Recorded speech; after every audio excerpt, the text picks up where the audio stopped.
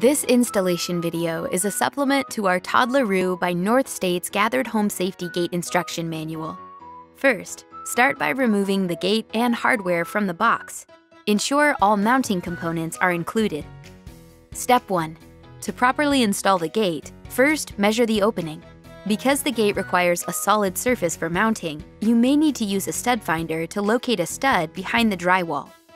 Step 2. Use scissors to cut the enclosed mounting template on the dashed center line to create two separate templates. You may need to trim the floor line to cut away any paper margin remaining. With tape, secure the template at each side of the opening, ensuring that the floor line is aligned with the ground. Then, using a pencil, mark the holes on the upper and lower mounts of each template into the wall.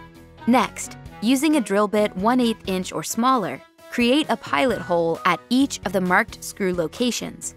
Use a Phillips head screwdriver to attach the upper and lower wall mounts onto the surface using the provided screws. Extend the gate by unfolding each end panel. Position the barrier into the space. Step 3. On one side of the gate, align the gate brackets with the wall mounts and set into place. Repeat on the other side. To secure the gate panels, rotate the removable vertical bars, located on each side of the center panel, counterclockwise until they are tight. To open the door panel, depress the button on the latch and lift the door before swinging it open. While the door is open, release it and it will close automatically. To engage the Stay Open feature, simply swing the door open slightly past 90 degrees the door will remain open unless it is manually closed.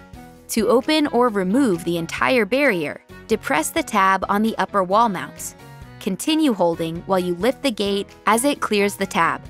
Prior to folding or repositioning your safety gate, unlock the removable vertical bar by turning the handle clockwise. Start by determining which side of the door panel you want the extension to be located. If you are adding more than one extension, be sure to center the door panel as much as possible. Step 1.